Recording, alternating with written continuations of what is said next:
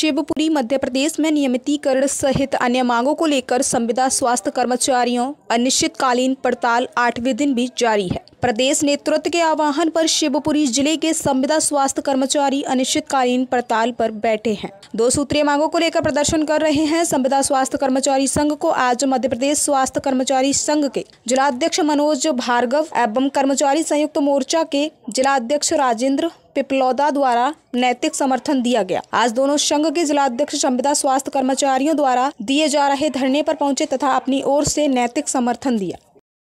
बढ़ेगी विप्लवा जी हमारे माननीय मंत्री जी के बहुत खास है। मैं पिपलौदा जी से अनुरोध करूँगा कि आज ही के दिन मंत्री जी को पत्र लिखें।